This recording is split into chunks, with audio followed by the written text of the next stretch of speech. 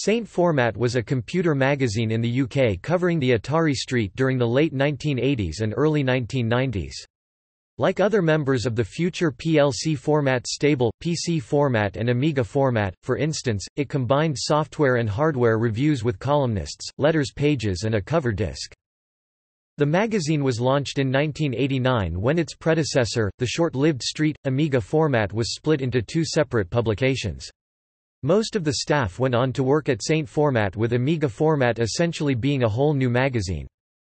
Latterly, the magazine was kept alive by enthusiastic freelancers such as Frank Charlton and Andy Curtis, as well as dedicated staff writers and editors such as Clive Parker and Nick Peers. Saint Format continued publication until 1996, when production of the Atari Street and Atari Falcon computers was all but over. The final issue was published in September 1996, and was the 86th issue of the magazine. Fan sites for the magazine still exist on the Internet, some featuring archives of features from the magazines. References.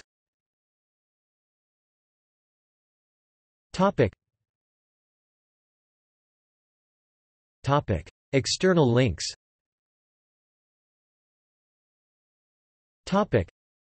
The Saint Format Shrine. Saint Format cover images